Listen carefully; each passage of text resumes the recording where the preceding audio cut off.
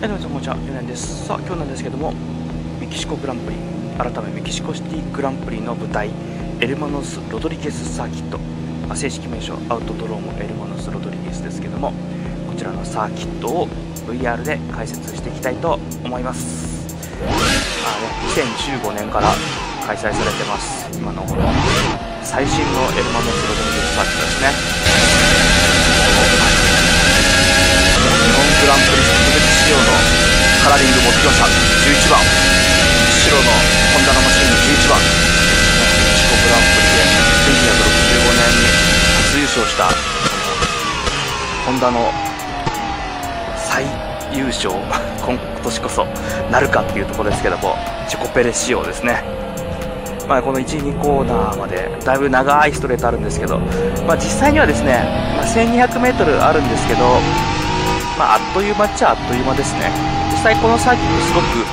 あの見た目以上にコンパクトなサーキットなんですね。まあ、街中にある公園を使ったサーキットなんで、すごくあの実は見た目以上にコンパクトなサーキットで長いストレートありますけど、さっきの1、2、3コーナーだったり、この4、5、6、先のスタジアムセクションもそうですけど、実はすごく低速なコーナーばっかりなんですよね。でこのコンクリートオールの向こう側もターンセブンですし、の4、5のスケインなんかもすごくコンパクトで、で実際観客席すごく近い、もうほとんど仮設のスタンドですけど、この辺とか、まあ、お客さんすごい入りますけど、もうむちゃくちゃこのサーキットと観客席の距離近いんですよね。で、我々コースサイド行ったりなんかしても、このコンクリートオールの1個向こうと観客席の間のスペースを歩くんですけど、もう本当にあのバギー1台分ギリギリ走るか走らないかみたいなあの狭いところ、のあの道を歩く感じ、歩いたり走ったりする感じですね。この5、6、7、8とスタジアムセクションを回ってるわけですけども、コンクリートオールすぐ近くにあるんで、セーフティーカーも出やすいですし、VSC もすぐ出るしっていう感じのサーキットですね。このターン7が、まあ、1つ中高速、まあ、180から185キロぐらいのコーナーですけど、ここが中高速コーナーですね。この先、この8、9は、まあ、ほぼ全開。9は若干スロットル戻すかなぐらいの感じですけど、全開ですね。なので、まあ、中高速がこの7コーナーとその先の10コーナーが2つあるぐらいで、あとは全部低速コーナーっていう感じ。この辺の縁石なんかもバリバリ使って走るサーキットですね。この左側ね、あの壁見えてますけど、フェンスの向こう側のあのコンクリートの壁、まあ、ブロック塀なんですけど、実際には。これがもうこの敷地の端なんです、実は。この壁隔てたもう一個向こうは、もう普通に街です。もうメキシコシティの街なんですよね。だから、いかにこの狭いところにあるかっていうところですね。まあ、街中にある本当に公園っていう、まあ、イモラとかモンツァもこれに近い感じありますけど、メキシコシティの場合、本当にもう、この壁1個隔てたら、普通にああいう風にね、あの、お家見えますけど、普通に民家がたくさんあって、で、この柵、まあ、本当にこの通りこの柵があるんですけど、これ公園の普通に柵というか入り口なんです、門なんですけど、こういうあの柵の隙間から 見えるんで、サーキットが。この柵の間のところに人がわーっていっぱいいて、まあね、チケット、あの値段的にもそうですけど、チケットもすごくすぐ売り切れちゃうんで、チケット買いたくても買えなかった人、見たいけど見れない人が、ああいうところから、隙間からたくさん覗いてるっていう感じで、まあ、その辺もなんかちょっと昔ながらの90年代とか80年代の F1 っぽい感じがあったりして、でもそういう人もやっぱり熱心に応援してたりするんで、なんかあの雰囲気としては楽しい雰囲気がすごく漂ってますね。F1 っていうこうなんか熱心な感じですね。このね、外ももうすぐに建物ありますし、この敷地がね、公園なんで、あのスポスポーツ公園なんですよね。だから、サッカー場とか、あのテニス場とかもありますし、あの野球場もね、ありますけど、このもう右に見えてるのはもうパドックですね。向こうにあるのはピットビルディングですし、その裏にこうテント式の各チームのホスピタリティとか、えまあ、いろんなあのキッチンとかね、あったりしますね。っていうぐらい、本当にコンパクトなサーキットですね。で、こうやってコンクリートオール立てて、なんとか作っているっていう感じなんで、まあ、パーマネントといえばパーマネントだけど、半分行動といえば行動みたいな感じの公園の周遊路を使ったサーキットですよね。だから、このパーマネントのこの本当のガタガタの縁石になってるところもあるし、例えばこの12コーナーの出口なんかは、この、まあ、データ上は平べったいですけど、実際にはこう、鉄板でね、台形の鉄板をパコンってこう、段差作ってるだけみたいな縁石だったりもします。だから割とそういうところに車ちゃんと乗っけて、コース幅いっぱいに使って走ったりもします。これが有名な、あの、フォロソルスタジアムですね。もともとの、えー、90年代ね、開催された頃はなかったですけど、えー、その後野球場を作られて、こう、スタジアムになってて、まあ、コンサートも行われたりしてみたいですけど、半分このスタジアムの観客席だけ残して、サーキットに使ってるという。こちら側はね、あのパドッククラブのお客様が観覧するスペースになってて、そのど真ん中に表彰台があるっていう、まあ、かなり特殊なこの構造ですね。まあ、パドッククラブのお客様的にはすごく、ね、あのこのスタジアムセクションが楽しめるっていうことで、あそこからね、あのブリッジ、ピットビルディングからつながってますけど、まあ普段お食事とかはあちら側でして、あのでセッションあるときはこっちに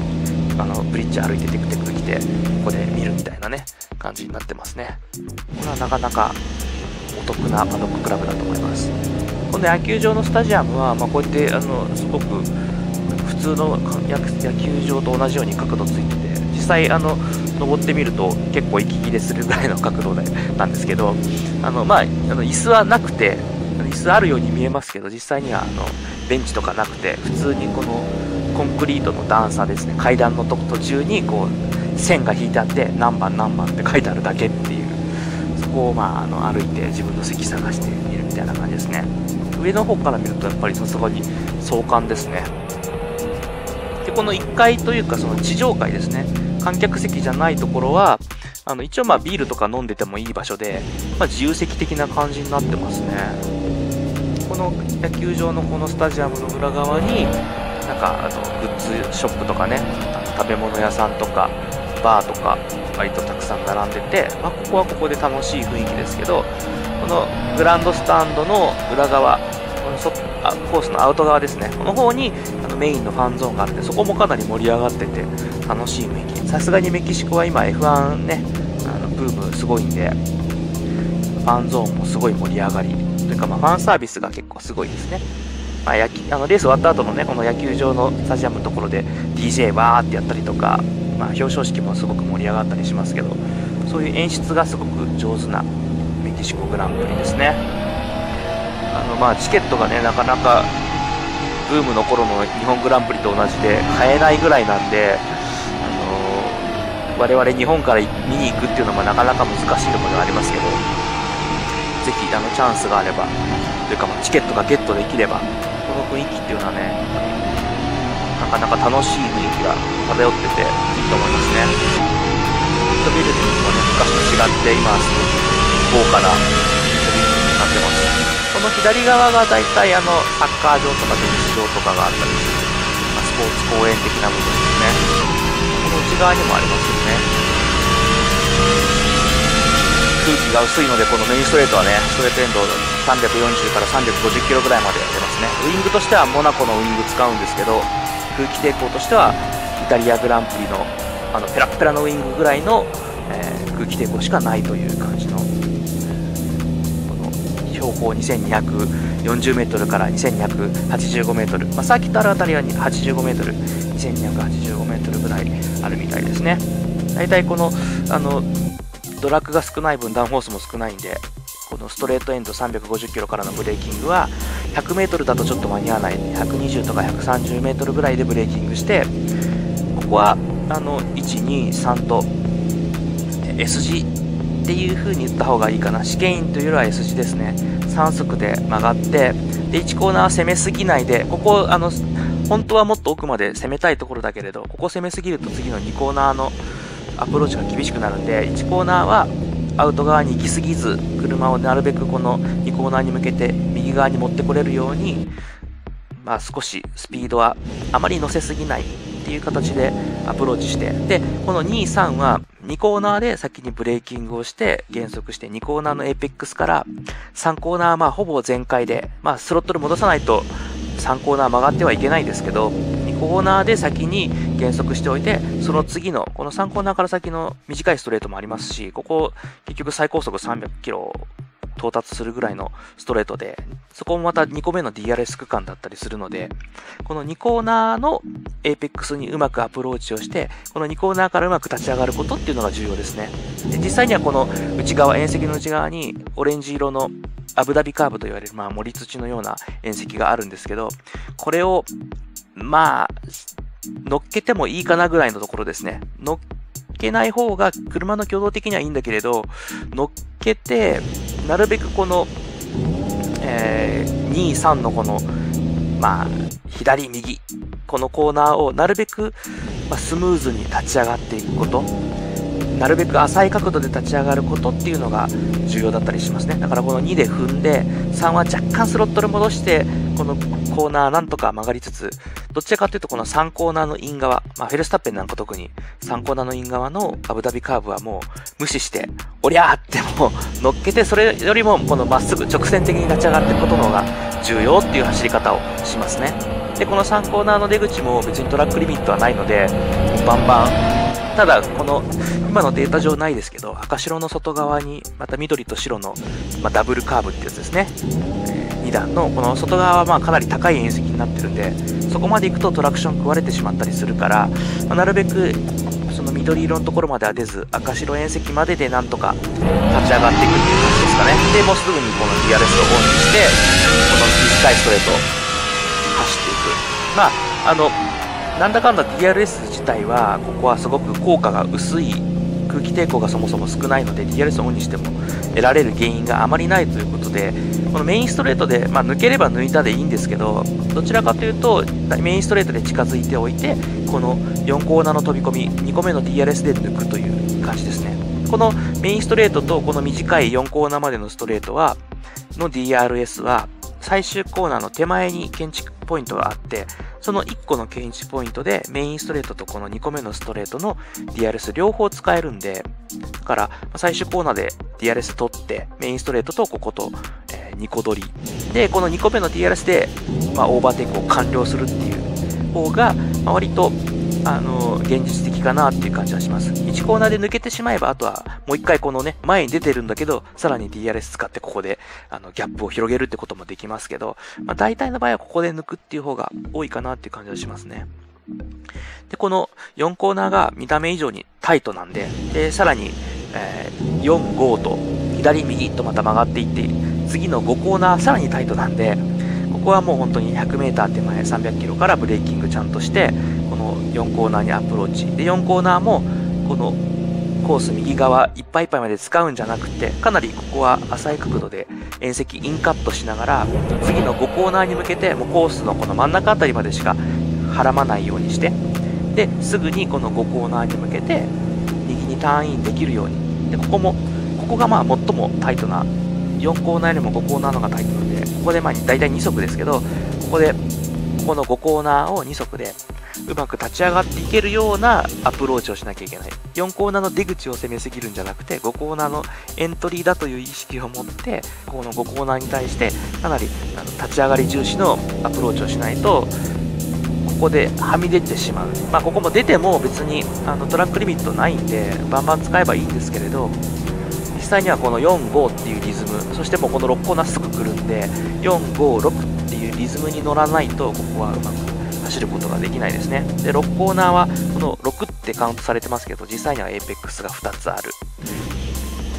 縁石がこの尖ってる部分が2つあるんですけど、まあ、それぞれをちゃんと舐めるような感じで、でも、イン側、縁石を乗っけて回る人はあまりいないですね。まあ、低速で、なおかつ、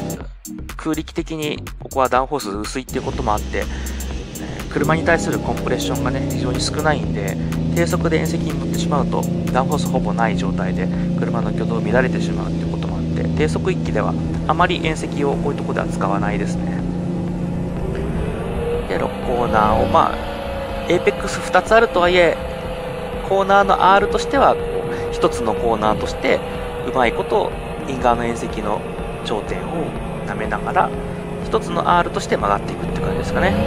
で、加速していくんですけど、またすぐに7コーナーに来ますね。7コーナーは180キロぐらいでアプローチする、まあ、中速コーナーになりますけど、ここでまあだから2つぐらいギアを、1つか2つ落として4速5速でターンインしていく。ここからま高速の S 字なんで、ま、このターン7のイン側の縁石もね、割とアグレッシブに使っていく人も多いし、で、このコーナーの、7コーナーの出口のから 8, コーナーの縁石繋がってますけど、もうここも縁石バリバリ使う。最近の F1 マシンってこの中高速コーナーでも縁石を使うっていうのはほとんどないんですけど、空力的な安定性考えると縁石は使いたくないんですけど、ただここに関しては、この S 字の R をなるべくなでらなだらかにしたいということを考えると、縁石は使って走るっていう方が早いみたいですね。なので、かなりアグレッシブな縁石を使うという珍しい、まあ、サーキット・オブ・ジ・アメリカズのセクター1もそうですけど、まあ、こういう風に縁石を使っていくコーナーですね。で、この10コーナーに向けてもう一度減速をして、えー、まあ、若干ですね、若干減速をして、またここも180から185キロぐらいでターンインをして、まあ、イン側の縁石使いつつ、この11は全開でけていく。ただここはもやっぱり78910っていう高速の筋リズムに乗ってうまくそれぞれエーペックスと出口の縁石をいっぱいいっぱい使うっていうのができて初めて全開で抜けていけるような形ですね。だからリズムが狂ってしまうとこの10コーナーのね10から11のところうまく曲がれなくて、えー、ランオフエリアに出るっていう形になります、まあ、ランオフエリア出た場合はここに実際にはあのボラードがあるんでそれにちゃんと従ってコースに復帰しなさいっていう規定になってますね。すぐにここからまた、3個目の DRS 使って次の12コーナーに向けてここも短いストレートですね、実際には11コーナーが全開のストレートなんで10コーナーのエイペックスからこの12コーナーまで短いストレートがあるっていうま、あ、ここはまだ300キロまでには到達しないですけどもう270、80ぐらいまでは到達するコーナーですね。なので 100m 看板ちょっと過ぎた先あたりからブレーキングしてこの12コーナー。12コーナーは右側の縁石はあまり使わずに、えこの外側の縁石ですね、まあ、先ほど言った通り鉄板のあの実際にはガタガタがない縁石なのでそこは積極的に使ってこの非常にタイトなむちゃくちゃタイトなスタジアムセクションに入ってくる。12コーナーの出口から少し加速をしてでここ13コーナーそして14コーナーありますけどこの13はもう相当70キロ以下まで減速しますね。あの見た目以上に小さなむちゃくちゃ小さなコーナーですね。でここも普通だとここまでね出口まで行っちゃいますけどそういう風に使わずにこの14コーナーのアプローチっていうのを重要視して13コーナーの出口はあまり右に行かないようにする。で14コーナーは次の15が上のコース図見ていただくとわかるんですけど15と16っていうのが繋がっているんですね。なので14コーナーは割とインカットしてこの微妙にこう右っていきながら次15、16で左に行くんでここはあの縁石というかコース図に騙されずにえー、縁石思いっきりカットしてこの直線的に15はこう、ね、右左って曲がってますけど実際にはこの15コーナーのエペックスの縁石は思いっきりカットして1つのコーナー。だから14、15はこう1つのコーナーとして走るような形ですね。で実質的な最終コーナーがこの16コーナーですね。ここもまあ2足か3足ぐらいまで減速するんですけどここもまあイン側の縁石使ってる人はあまり見たことがないですかね。でここからこの野球場の下通りながら全開ここからもう全開ですね。17コーナー。この外側はもうなるべく、えー、はみ出ないように走る、まあ、前回のね2019年の予選ではバルテリ・ボッタス選手がここではみ出すぎてスロットル踏むのが速すぎて外側のテックプロバリアに突っ込みましたけど今年は回収されて、まあ、そういう事故があったんで回収されてこのウォールがコース側に近づいてきてますね。で要するにぶつかった時にはそのままこうこのコンクリートウォールに沿って車が流れていくような形。でテックプロバリアーもなしにしましょうという形になってますね。まあ最近あのザントフォルトの最終コーナーもそうでしたけどそういう形になっているところがだんだん増えてきてますかね。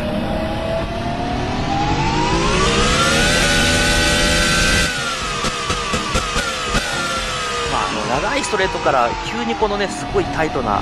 スタジアムセクション入ってくるんでここもやっぱりドライバーとしてリズムがちゃんとつかめるかどうか。っていうところがね急にリズムが変わるんで速度域が大きく変わるんで350キロから、ね、100キロ以下ですから、ここはなかなか難しい。で、セクター2もまたこのね、中高速コーナーの連続で、で走行してるとすぐこの最終のスタジアムセクション入ってまたむちゃくちゃコンパクト、セクター1以上のコンパクト、セクター3ですよね。まあ、みんなね、やっぱりこのスタジアムの雰囲気がすごくいいって言いますけど、実際すごく盛り上がってるし、ペレスが通るたびにわーって盛り上がってて、現場へいてもすごく楽しいですよ、ここは。さあ、そういったところで、アタックラップしていきましょうかね。まあ、アタックラップ予選の前はね、大体やっぱりみんなあの、前の車の、えー、スリップストリーム意識して前後感覚をね、コントロールしようとするんで、この最終コーナーの手前ね、えー、すごいスタジアムセクションでトラフィック起きますよね。だからまあ今年の予選もなんか起きそうな気はしますけど、実質的なこの最終コーナーである16コーナー、ここを、まあ実際のあのアタックラップというか、あの普通の走行の時とは違った形でね、アウトラップはここから、この手前からおりゃーって全開で走っていく感じですね。Yeah.